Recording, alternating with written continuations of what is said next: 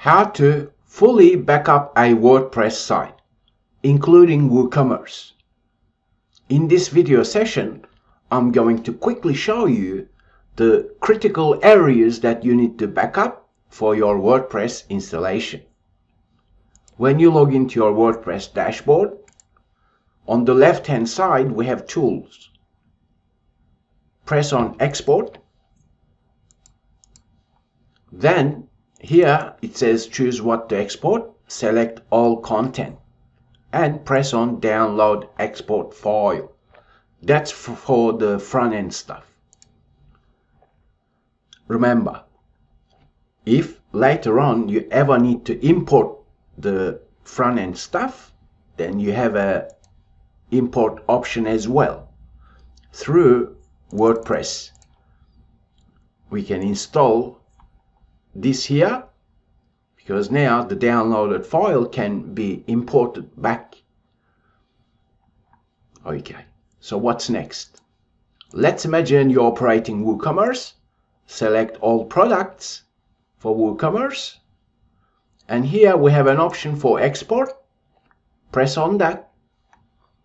Select yes, export all custom meta, leave everything as default but remember, you have option to perhaps export specific things.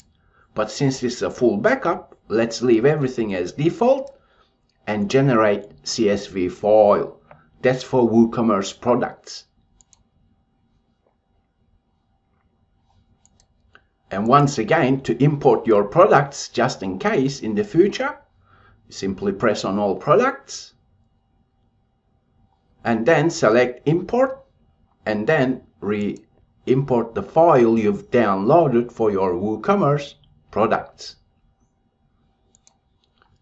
Next, you log into your cPanel or web hosting service providers um, backend, so to speak, because here we need to back up a couple of important elements for WordPress installations. If your web hosting doesn't have a cPanel, then you may be able to log in using FTP programs or your web hosting service provider will give you details as to how to log into your installation and how to access your database as well. So I'll show you the cPanel option. Simply locate File Manager, press on that select your home directory. This is the easiest way. And here what you want is you want to compress and download the entire installation directory.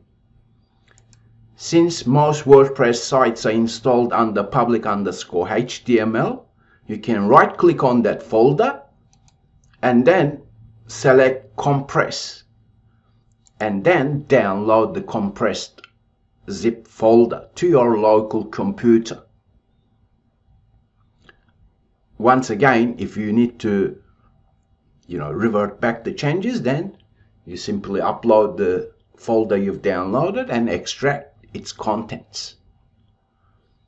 While here I'll show you how WordPress sites are installed. There's three main folders called wp-admin, content, and WordPress includes. These are the three folders that you need to download as a backup. Then there's a file called .htaccess file. This is a hidden file and the settings can be found on the right hand side of your cPanel file manager.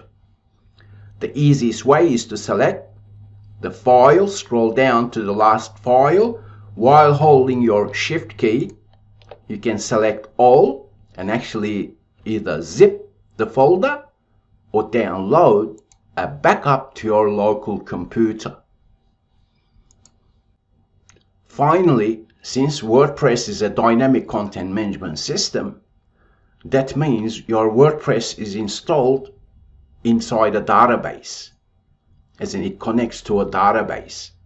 From your cPanel, databases menu option, you can select phpMyAdmin to log in to your WordPress database. Then select the database your WordPress site is installed in, press on export, select custom, leave everything as default and press on export.